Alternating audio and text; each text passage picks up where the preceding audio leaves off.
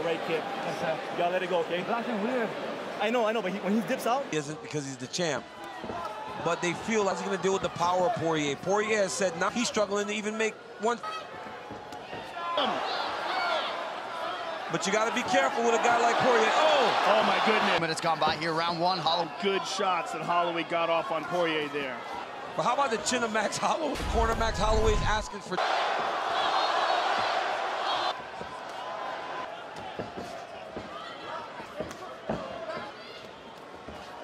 Out of Dustin Poirier's sail.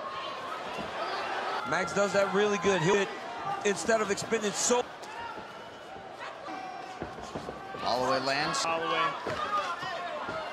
Dustin Poirier is a savage. What? We can. Busy guy, 100. Big kick to the body. Effectively at this point. For whatever that's worth.